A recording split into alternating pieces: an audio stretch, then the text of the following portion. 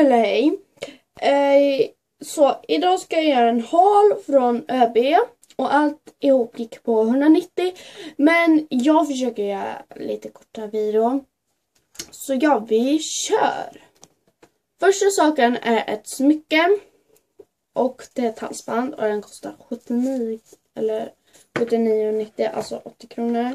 Men jag kunde inte motstå. Det var så himla fint. Här. Ser ni det? Det glittrar. Oh my god. Det är så himla fint. Så ja. Det var den här grejen.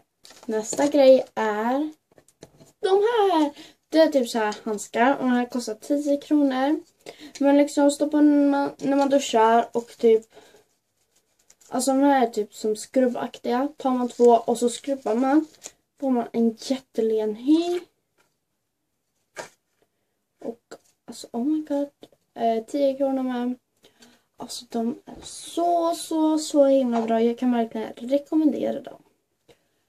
Eh, nästa grej är en sån här ansiktsmask och den här kostar också 10 kronor.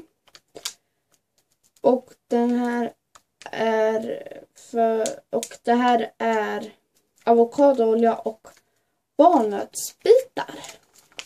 Så nu har jag två saker kvar och ni kanske tror att jag pratar snabbt, snabbt, snabbt, snabbt men det gör jag inte.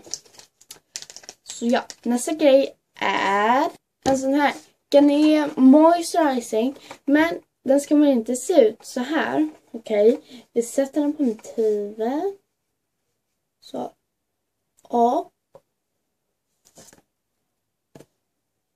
Tada! Så, det här är alltså en nattkräm.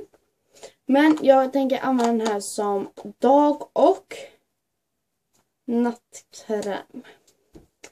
Liksom min hy är typ lite så här jättemycket finnar och sånt på. Nästa grej är det är en sån här, det är med fyra stycken body butters. Och eh, som ni ser så tänker jag börja med coconut. Och den ser ut så här. Så här ser den ut. Och så här ser den ut på insidan. Den ser ut så här och den luktar amazing.